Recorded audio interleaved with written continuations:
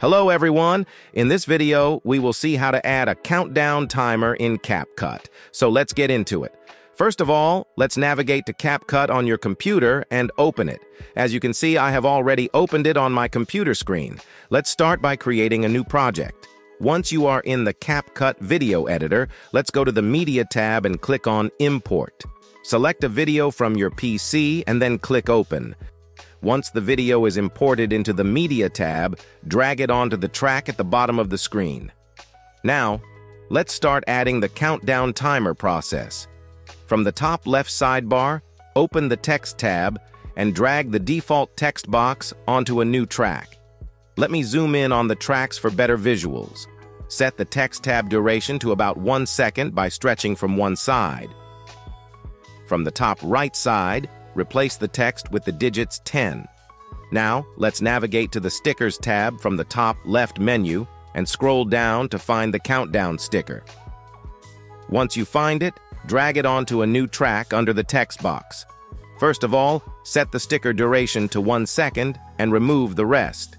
To make changes to the sticker, right-click on it and then select Create Compound Clip.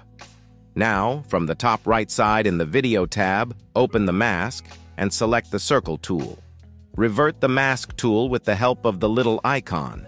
Now, adjust its size in the Preview tab by stretching from the corners. Select the text box, and from the top right, change the font style and adjust its size by adding a specific value. Adjust the text position correctly in the Video Preview tab.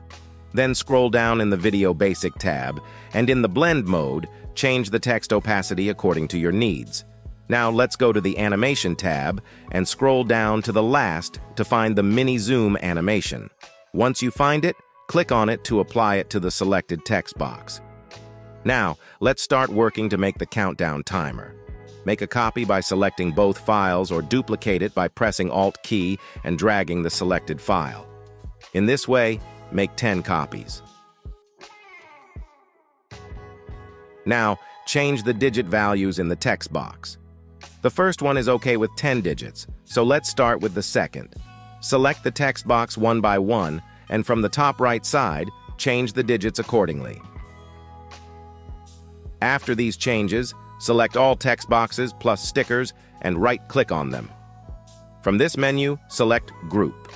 Now, all these files are converted into a group, and from the top right side, change the scale value to resize it. Change its position by adding x-axis and y-axis values. Once everything is done, let's have a preview. And that's it. This is how you can add a countdown timer in CapCut. If you found this video useful, please show your support with a like. Your feedback is invaluable to us, so feel free to share your thoughts and suggestions in the comments section below.